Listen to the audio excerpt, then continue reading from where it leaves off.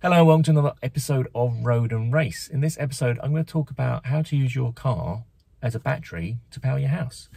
Now, why would you want to do that? Well, the main reason I can see is that you can buy cheap rate electricity overnight, say maybe 2p or 4p a kilowatt hour, and then use it during the day when it's more expensive, like um, 20p a kilowatt hour.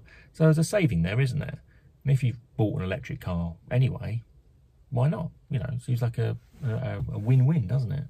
So I'm here in Nissan's new Leaf, the 2021 Leaf, and this supports uh, this technology. It's called vehicle to car, or sometimes uh, vehicle to X, or V2X as a like a generic term for it, because there's also other variants like vehicle to grid, but I'll get onto that in a second. Uh, so what it is, what is it then? So essentially, yes, you plug your car into your house and then you can decide when you want to use the battery in the car to power your home. So if you don't have solar power, um, like panels on your roof, you can use cheap electricity at night, as I mentioned, or if you do have solar panels on your uh, roof of your house, then you can use the car you know, be charged by the free solar and then balance it out and use that solar power as and when you need it throughout the day and, throughout the night. So there's lots of options there. Obviously, you can buy a battery for your home, you know, Tesla sell one and lots of other companies sell one, but they're fairly expensive, you know. I haven't looked at prices recently, been looking at you know, four, five thousand pounds for a battery, plus all the electrical works to do it. So if you can leverage the battery in the car you already have, why not? It sounds like such a good idea, doesn't it? Well, here are the caveats to all that it's still quite immature in the UK at the moment. I'm recording this in 2021, you know, and um, there aren't that many options. From my research, there's just one wall box for your home that has this bi-directional charging capability, and that's the Wallbox Quasar. Quasar. Uh, which is quite expensive. Uh, it's about a thousand pounds I can make out at least. And the pricing isn't that available. Uh, and that's about all the electrical works, you know, the installation works and, all that kind of stuff.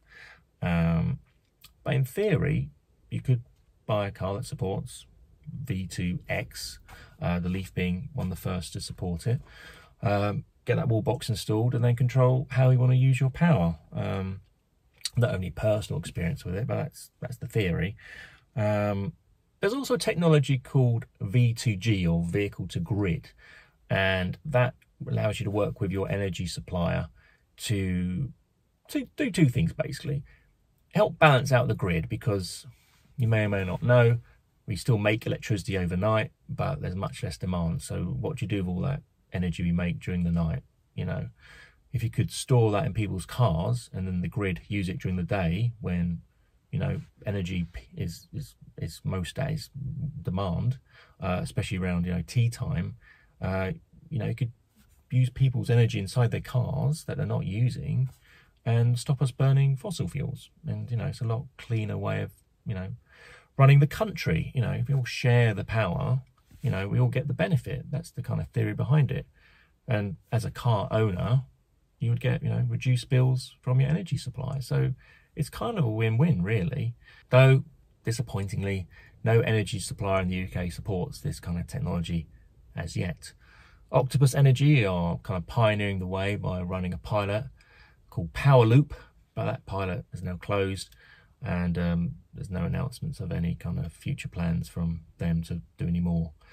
So we're not quite there yet, but it's nice to know that if you do buy a car like the Leaf that supports this V2X technology, that when, you know, the infrastructure does kind of catch up, you'll be able to leverage it. Anyway, that's all from me.